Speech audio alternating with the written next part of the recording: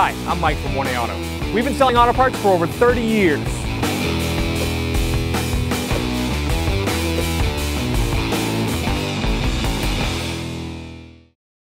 You need to replace your third brake light bulb, or high mounted stoplight as they sometimes call it. Open up your trunk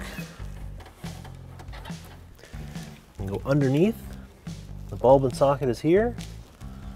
I'm gonna unplug it so it's a little easier to get out. This was a little loose. Just gonna turn it counterclockwise, pull it out. You need to replace this bulb. It's a 7440.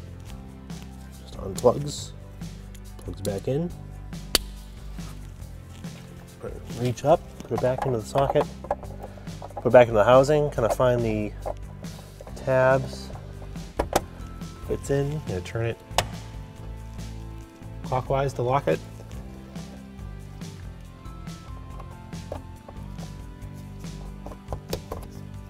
That connector back in, that bulb was replaced. Thanks for watching.